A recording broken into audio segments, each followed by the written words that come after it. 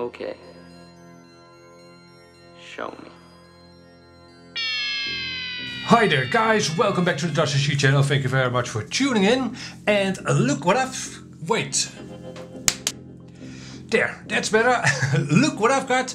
I've got me some motors, uh, quad motors, drone motors. These are 2207 and a half motors from a new company, Flash Hobby. Flash Hobby, you have never heard of Flash Hobby. maybe you've come across a couple of product pages on, for instance, Banggood.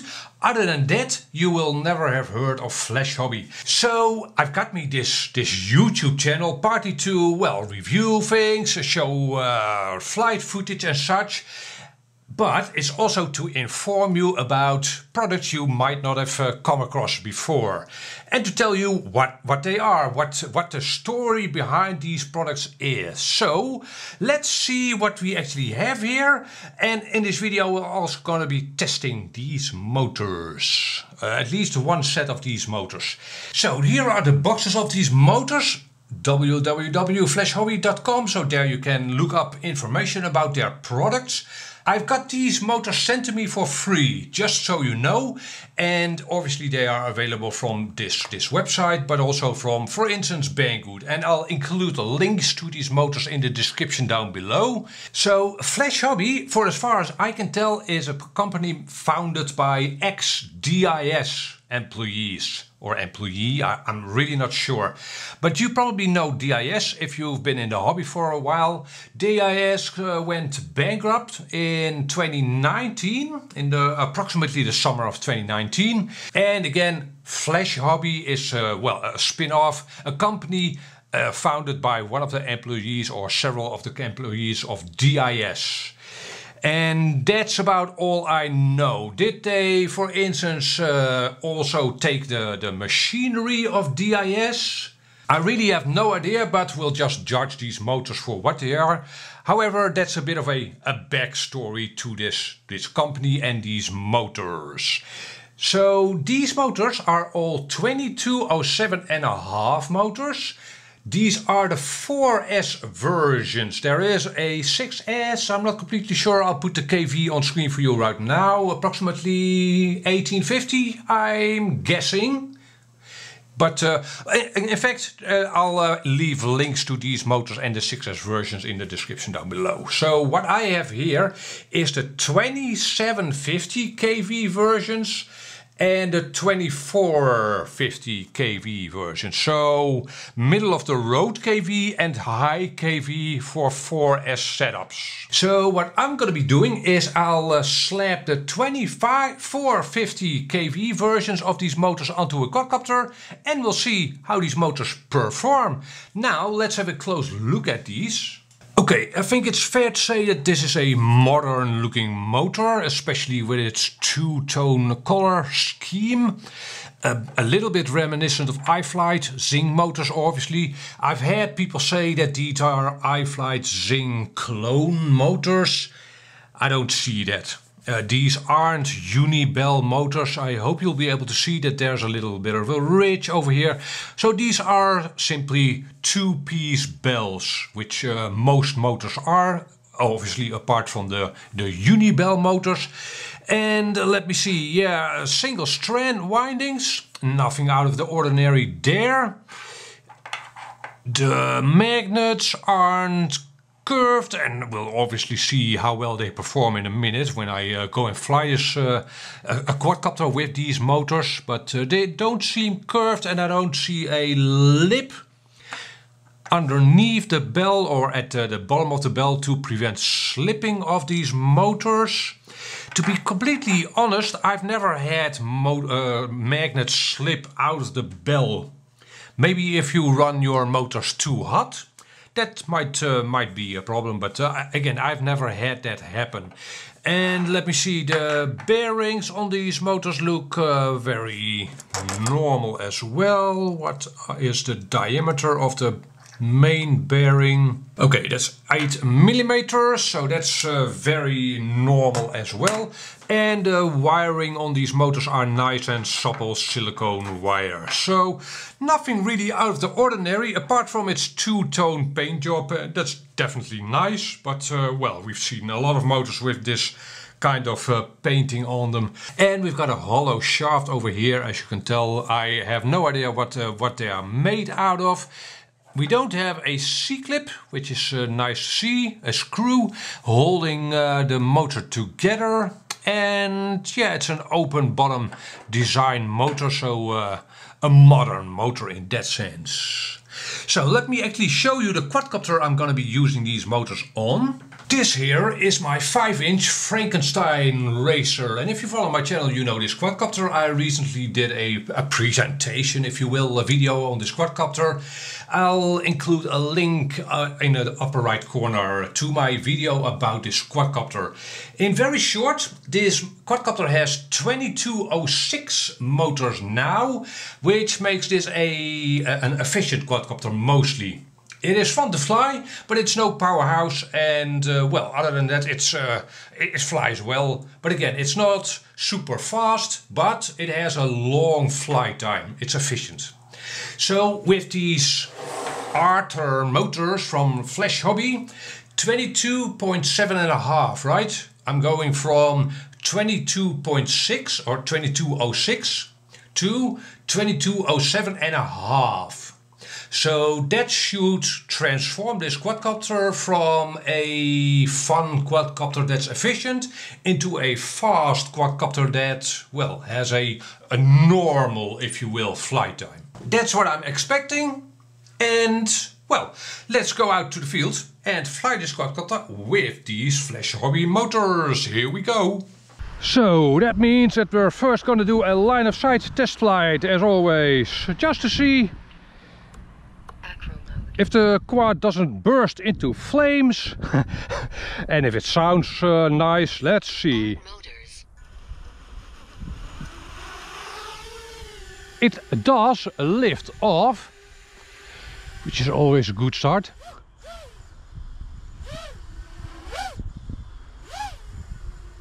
Um, have to get used to the feel a little. Again, this is 4S and I'm now listening to the quad mostly. Not sure if you'll be able to hear the quad, probably. And the first thing I noticed is that it is not super responsive in the bottom half of the throttle range. Let's try a punch out. Yeah, that's, that's pretty good. So, huh. Most of the grunt of this setup is in the second half of the throttle range.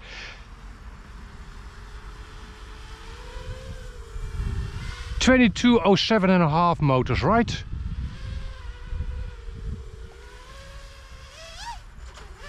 Damn, that was a uh, very ugly, very ugly power loop. Let's try that again. That's better. Huh, okay. So, yeah, I guess it does fly and it's pretty quiet actually. It sounds smooth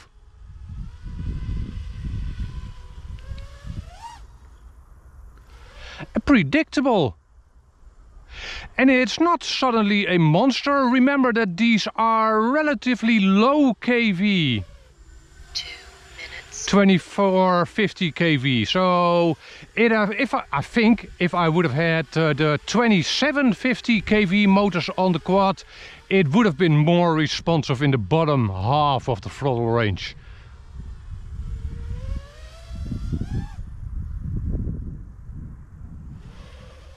But it flies very predictable.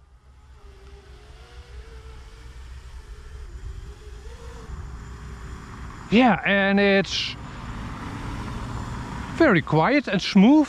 I haven't seen or heard any Propwash oscillations yet, which is nice. So that kind of probably means that these motors have an easier time managing these propellers. Again, these propellers not light and good amount of drag. Three minutes. Huh, interesting. Might be a very easy going quad to fly, easy to punch through small holes and such because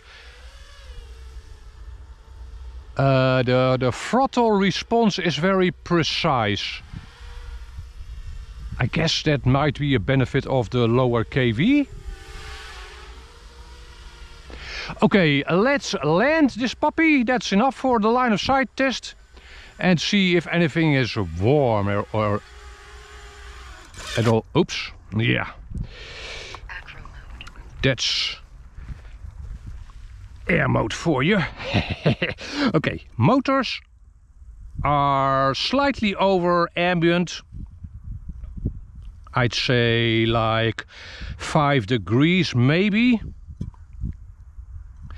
And the LiPo is cold. So that's a good sign actually. Now obviously this, this was just a line of sight flight. So I shouldn't have had this LiPo be warm. But that looks, looks great. Let's do some FPV flying. And after the FPV flight, we'll uh, get back to the studio and then I'll give you my closing thoughts on these Arthur motors from Flash Hobby. Okay, let's do an FPV flight.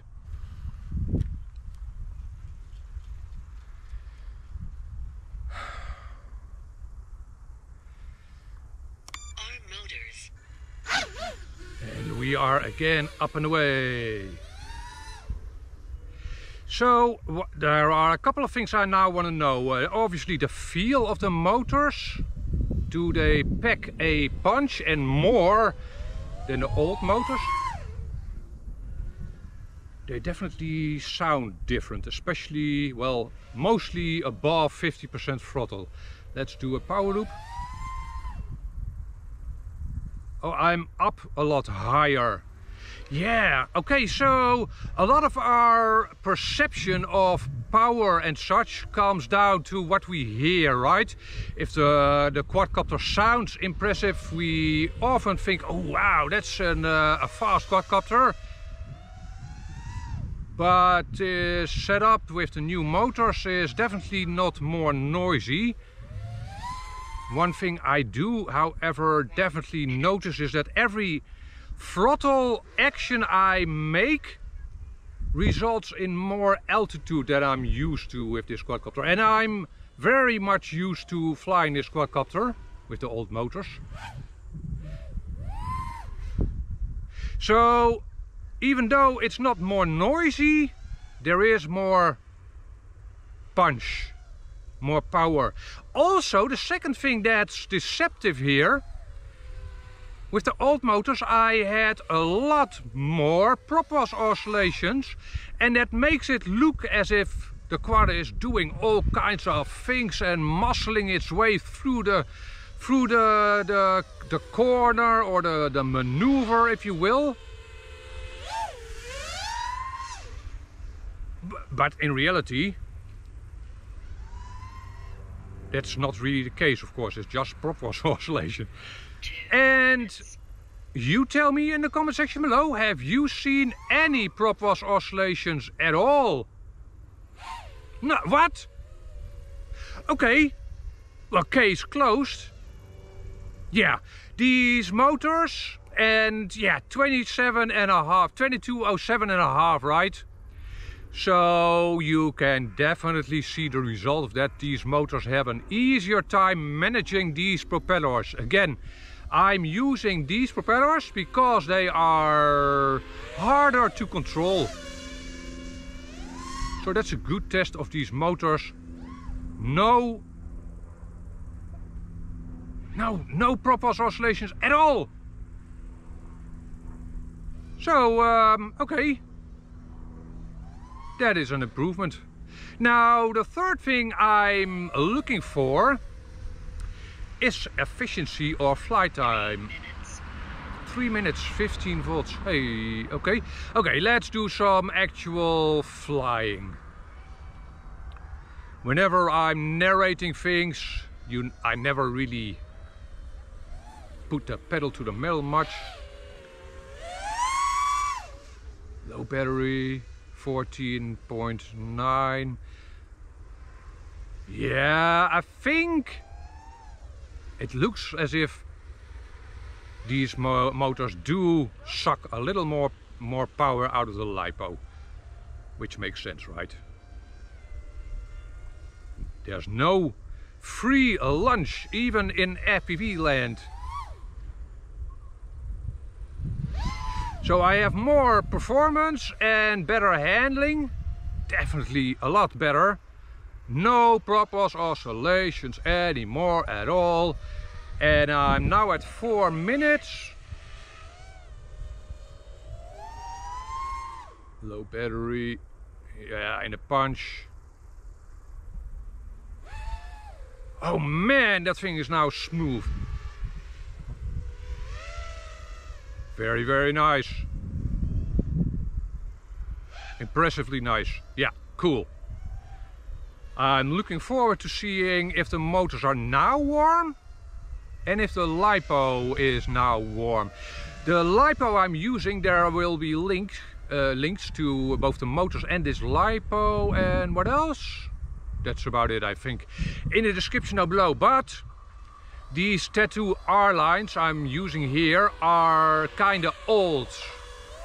Which uh, probably makes sense because this is the only 4S quad I have. So there's no real, uh, well, incentive for me to go out and buy new lipos for this rig. 5 minutes 14 but yeah I need to land 5 minutes okay so I could have stretched that obviously by just coasting and such to maybe 7 minutes maximum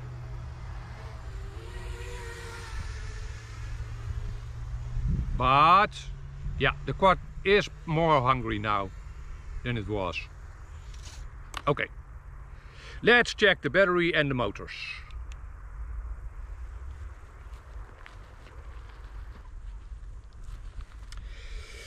Okay, motors are stone cold.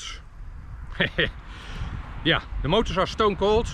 So I've um, ran them a little harder now than in the line of sight flight, but there was also more airflow. So, and the battery, this battery is normal actually, not warmer than on the old motors, which is a bit surprising. So I guess the LiPo is still in good order. That uh, makes this a recommended uh, 4S LiPo. Tattu R-Line uh, version 3 1304S. Works, I guess. So with that all said and done, let's get back to the studio and then I'll give you my closing thoughts on these Flash Hobby motors. Here we go. So guys, Flash Hobby Motors, what is my take on these motors? You might have, uh, by the way, noticed that they also produce a couple of other sizes. But well, these are the only ones I've tried. And the build quality is uh, just fine. They actually remind me in build quality of uh, Emax motors. yeah, they are definitely not made in the same factory, but uh, well, that's what the build quality of these motors uh, reminded me of.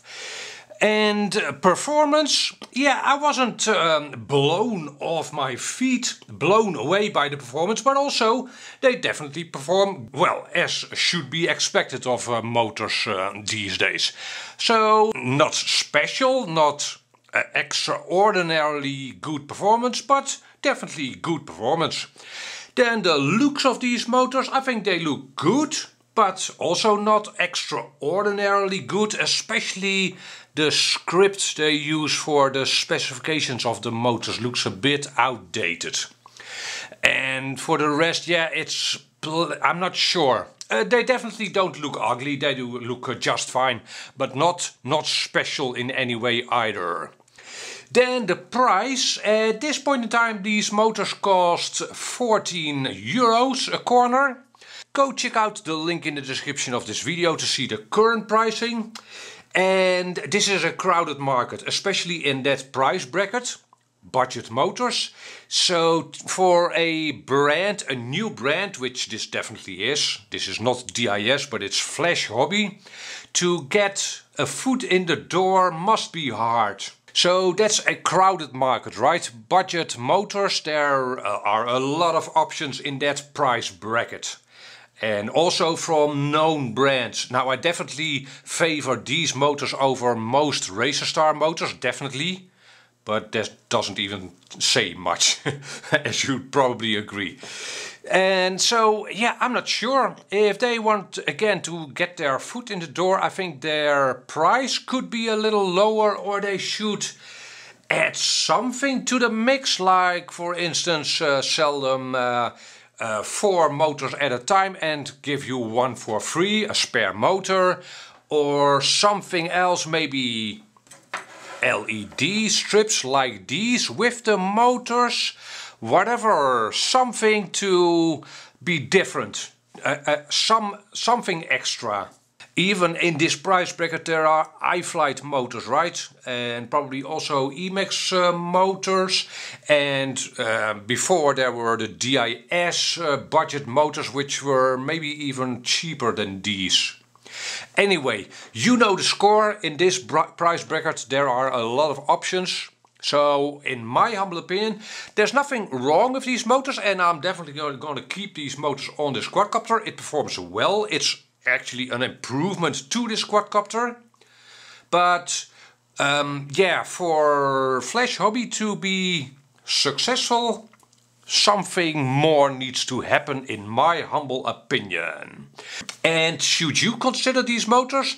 Well, you can definitely uh, try them. Um, if you are building a, a budget basher, like this quadcopter is of mine, this Frankenstein, they will definitely not disappoint you, they perform well. And that is it, my friends. tell me in the comment section below what you think. And um, will I be doing more reviews of Flash Hobby motors? Who knows? Again, I got me uh, sent these motors for free, so we'll see if they send out uh, more motors and we'll test those in that case. Catch you on the next video. Bye bye.